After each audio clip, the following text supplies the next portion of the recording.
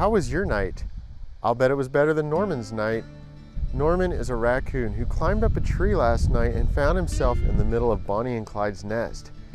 While he was there, he found a surprise a tiny little great horned owl egg. He went up to it and then he touched it with his hands. He saw that it was nice and warm.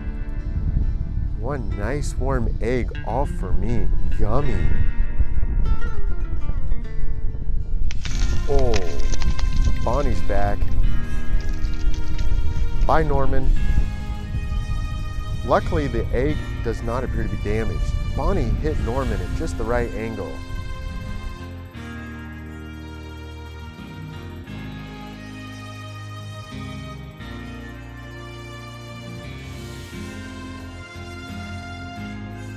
Don't mess with the nest.